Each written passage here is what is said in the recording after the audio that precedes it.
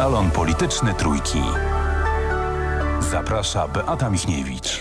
Dzień dobry, naszym gościem jest e, wicepremier, minister rozwoju, pracy i technologii Jarosław Gowin, prezes Porozumienia. Dzień dobry. Witam panią redaktor. Dzień dobry państwu. Słuchaczom powiem, że można nas także oglądać e, na Facebooku i YouTubie.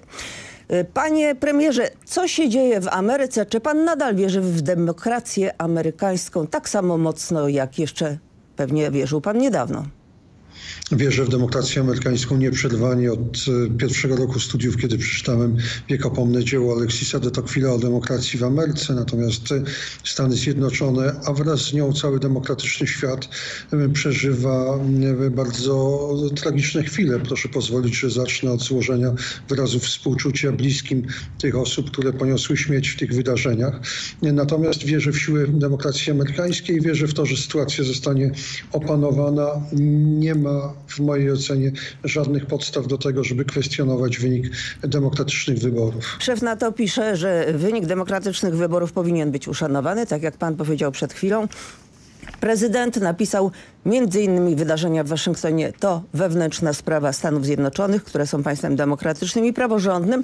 Czy inni przedstawiciele polskich władz też y, powinni zabrać głos w tej sprawie, bo opozycja wzywa? Ale nie tylko Nie dlatego, widzę może z innych powodów których- też. Nie widzę powodów, dla których oprócz e, pana prezydenta e, ktokolwiek z przedstawicieli polskich władz miałby em, zabierać głos w sposób e, oficjalny, w sposób odrębny. No, w pewnym sensie ja w rozmowie z panią redaktor taki głos zabieram. Jeszcze raz podkreślam. O tym, kto będzie następnym prezydentem Stanów Zjednoczonych, zdecydowali wyborcy, zdecydowały sądy amerykańskie. Nie widzę, powtórzę to raz jeszcze z całą mocą, żadnych e, podstaw do tego, żeby kwestionować legalność wyboru pana prezydenta Bidena. A propos Andrzeja Dudy, tutaj wspomnianego, prezydent uważa, że dobrym kandydatem na Rzecznika Praw Obywatelskich byłby Jan Rokita. Powiedział o tym w wywiadzie dla Interi. A według pana? Bardzo się cieszę z wysunięcia tej kandydatury. To jest oczywiście jeszcze kandydatura niewiążą, niewiążąca z dwóch powodów. Po pierwsze, jesteśmy przed głosowaniem w Sejmie nad trzema innymi kandydaturami, w tym kandydaturą pana ministra, który został wysunięty przez obóz Zjednoczonej Prawicy, ale gdyby okazało się, że żadna z tych trzech kandydatur nie uzyskuje poparcia parlamentu, warto wrócić do kandydatury Jana Rokity.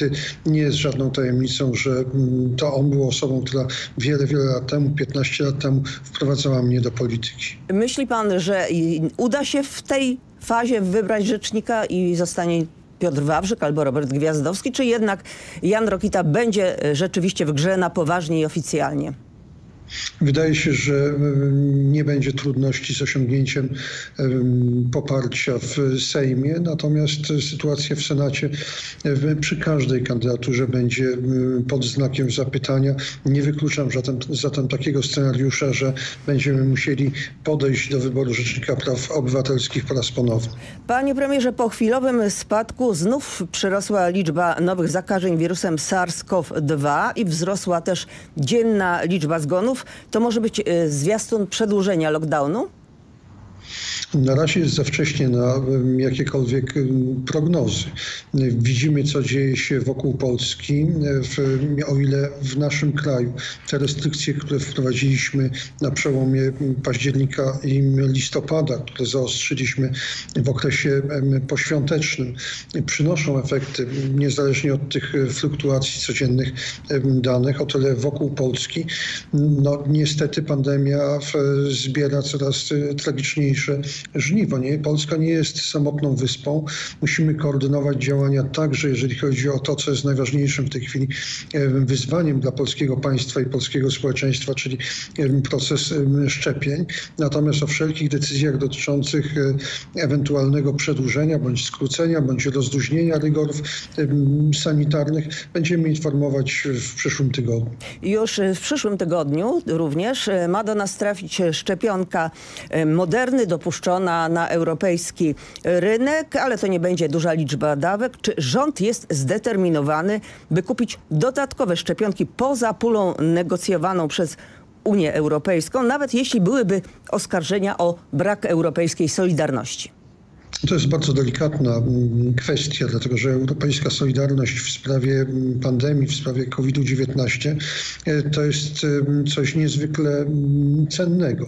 I rzecz jasna, każdy z. Przepraszam, że wtrącę, ale czy solidarność Niemiec, jak donoszą niemieckie media, z Francuzami nie była nadmierna? ponieważ zamówiono mniej, licząc, że będzie szczepionka francuska, która była na razie palcem na wodzie pisana. No niestety, jeżeli by się potwierdziły takie informacje, to wystawiałoby to bardzo kiepskie świadectwo właśnie temu, o czym rozmawiamy, czyli Solidarności Europejskiej. Byłby to dowód na to, że partykularne interesy nawet nie tyle jednego państwa, co jednego z koncernów należących do wiodących państw w Unii Europejskiej zwyciężył nad bezpieczeństwem i troską o zdrowie, życie setek milionów Europejczyków. Każdy rząd i każde państwo członkowskie Unii Europejskiej rozważa w tej chwili rozmaite scenariusze, ale wydaje mi się, że o tych sprawach warto informować opinię publiczną wtedy, kiedy będą decyzje, a nie wtedy, kiedy są, jest faza spekulacji bądź analiz. Ale to jest faza spekulacji i analiz, czy faza negocjacji, które są na razie tajne? Skoro, Skoro są tajne, to pan nie powie, rozumiem. Są tajne, to nie, nie, nie byłoby mądrze ze strony tego czy innego ministra. No rzeczywiście, to, to, to pytanie było żeby o tym mówić. nie na miejscu, ale nie potwierdza pan i nie zaprzecza, że prowadzone są rozmowy. Mogę potwierdzić jedno. Polski rząd zrobi wszystko, żeby możliwie jak najszybciej zaszczepić wszystkich tych Polaków, którzy gotowi są, a tutaj korzystam z okazji, żeby wszystkich zachęcić do poddania się procesowi szczepień, a więc wszyscy, którzy są gotowi, powinni mieć dostęp do szczepionki w możliwie najkrótszym okresie. I tak wiemy to doskonale, że zarówno w Polsce, jak i wszędzie w Europie ten okres będzie trwał wiele miesięcy. Panie premierze, właściciel Laser Factory z Zamościa, firmy, gdzie również prowadzona jest działalność gastronomiczna. Napisał na Facebooku, po długich namysłach, rozmowach z prawnikami nie jesteśmy w stanie czekać w nieskończoność na pomoc państwa, ratujemy się sami. Ze zachowaniem reżimu sanitarnego otwieramy lokal zgodnie z prawem. Co pan na to? Ponieważ to nie jest pierwsza tego typu deklaracja, już były nawet czyny taka decyzja jest, byłaby niezgodna z prawem i będzie skutkowała wstrzymaniem jakiejkolwiek pomocy dla tej firmy. A przypomnę, że w, Ale ta firma przed... nie dostała pomocy, tak przynajmniej y, twierdzi jej właściciel, jej szef. Jeżeli to jest firma prowadząca działalność gospodarczą, to może korzystać zarówno z tarczy branżowej, jak i z tarczy finansowej, którą rząd e, uchwalił w, we wtorek na mój wniosek. Przypomnę, że do 45 branż trafi kwota ponad 20 e, miliardów złotych. Trafi w formie umorzenia części subwencji wiosennej, ale także w, trafi w formie żywej gotówki. Ta żywa gotówka to jest 13 miliardów złotych złotych. Jeszcze raz podkreślam, dla 45 branż, często bardzo wąskich. Więc poszczególne firmy będą otrzymywać kwoty naprawdę znaczące. Nie twierdzę. E, Panie premierze. Ale ta, jak, sam pan, jak sam pan mówi, to jest pomoc dla 45 branż, czyli nie jest to pomoc powszechna. Y, dlaczego? Nie jest to pomoc powszechna, bo nie ma powodu do pomocy powszechnej. Pani redaktor, te 20 miliardów Wiosną to są była prawie powszechna. Z podatków, z podatków każdego z naszych um, słuchaczy i nie ma żadnego powodu, żeby dofinansowywać branże, które znakomicie sobie dają radę. A generalnie rzecz biorąc, polska gospodarka poza obszarami dotkniętymi restrykcjami administracyjnymi oraz niektórymi branżami pokrewnymi, ale generalnie rzecz biorąc polska gospodarka to jest wielka wielka zasługa polskich przedsiębiorców oraz milionów pracowników daje sobie radę w COVID-zie relatywnie dobrze na tle innych krajów europejskich. Ale ja nie, nie miałam na myśli y, tych branż czy tych, tych y, działalności, które sobie doskonale dają radę. Y, kierując się opiniami, między innymi posłów opozycji, myślę, że nie, nie wszyscy dostali tę pomoc, którzy tej pomocy potrzebują i którzy na nią zasługują. Czy to prawda, czy nie? Rząd nie ma takich e, instrumentów, żeby pochylić się nad każdą z firm z, osobna. E, Pod tym względem dużo większe możliwości mają na przykład samorządy. Już wkrótce e, ogłoszę wraz, czy ogłosimy jako przedstawiciele rządu program pomocy na przykład dla gmin górskich. W ramach tego programu będziemy między innymi umożliwiali samorządom i finansowali równocześnie samorządom zawieszenie szeregu opłat dla em, przedsiębiorców w tych gminach. Czyli Taka współpraca między czyli to rządem nie będzie tak, samorządem e, jest bardzo ważnym sposobem przeciwdziałania Panie premierze. skutkom gospodarczym epidemii. Czyli to nie będzie tak, że, że samorządy będą musiały wysupłać pieniądze, na przykład e, kosztem podwyżek dla mieszkańców, tylko dostaną rekompensatę od rządu, jeśli będą tej e, pomocy udzielać? Jeden z instrumentów będzie polegał na tym, że samorządy w tych gminach będą mogły e, umarzać e, podatek od e, nieruchomości, bardzo ważny koszt dla przedsiębiorców z branży turystycznej. Równocześnie rząd będzie refinansował samorządom 80% e, kosztów tego umorzenia. Posłowie Lewicy złożyli wniosek do marszałek Sejmu Elżbiety Witek, który, tu cytat, ma zmusić pana wicepremiera Jarosława Gowina do przedłożenia informacji w sprawie sytuacji w branżach, które są najbardziej zagrożone utratą przychodów w czasie pandemii oraz jego propozycji wsparcia dla pracowników i przedsiębiorców w 2021 roku. Czy pan przedstawi taką informację? Jest pan na to gotowy? I co pan, jeśli taka tak ma, do, do powiedzenia? Sejmu, Sejmu bądź Senatu. Oczywiście jestem w każdej chwili gotów przedstawić te informacje.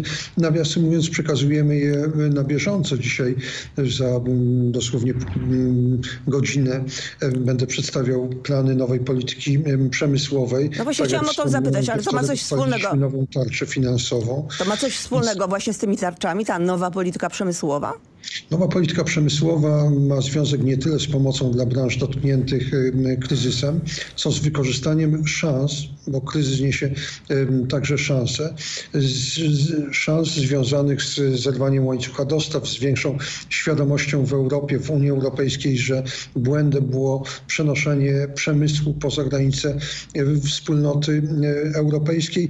Chcemy we współpracy ze środowiskami biznesowymi opracować e, taki plan konkretnych działań, które ruszą już od drugiej połowy tego roku i które pchną polski przemysł na tory jeszcze bardziej dynamicznego rozwoju niż działo się to w ciągu poprzednich wielu lat. Czyli co, Unia Europejska powinna być e, mm, zamknięta w ramach swojej struktury, powinna być taką autarkią według pana? To w ten sposób em, nie działa. Natomiast, em, jak pani redaktor em, świetnie wie, em, przez poprzednich wiele lat była taka tendencja do przenoszenia przemysłu, produkcji przemysłowej poza granice Unii Europejskiej, na przykład do krajów azjatyckich. Jasne, bo to jest o wiele tak. tańsze i to, się, i to, to, to jest powszechne od, od lat. To jest właśnie krótkowzroczne bardzo myślenie, bo być może jest to tańsze dla właścicieli fabryk, ale na pewno nie jest to tańsze dla społeczeństw europejskich. My chcemy budować, rozbudowywać nowoczesny przemysł w Polsce, chcemy tworzyć e, w, polskie firmy, polskie technologie, polskie produkty, tak żeby ta polska marka znaczyła dużo więcej na światowych rynkach niż znaczy w tej chwili, a nie znaczy wcale tak mało, dlatego że te 30 lat od 1989 czy 90 roku aż do no, fatalnego na skutek koronawirusa roku 2020 to był czas nieprzerwanego wzrostu gospodarczego Polski. To na koniec króciutkie pytanie o relacje w Zjednoczonej Prawicy. Czy aktywność ministra Zbigniewa Ziobry w związku z konkluzjami szczytu y, Unii w sprawie pakietu budżetowego mieści się w ramach wolności wewnątrzkoalicyjnej, też mieści się w ramach tej wolności zapowiedź, że y, Solidarna Polska będzie w Sejmie przeciw? W mojej ocenie w pełni się mieści. Ja sam byłem wiosną przeciwny przeprowadzeniu tych tak zwanych korespondencyjnych wyborów. Uważałem i podtrzymuję tę opinię dzisiaj, że one nie spełniłyby standardów demokratycznych. I tu musimy postawić kropkę, niestety, przepraszam. prawo. To będzie kropka brutalna, ale czas się skończył. Dziękuję bardzo, pani redaktor. Bardzo dziękuję. Wicepremier Jarosław y, Gowin. Beata Michniewicz, do usłyszenia. Autopromocja Polskiego Radia.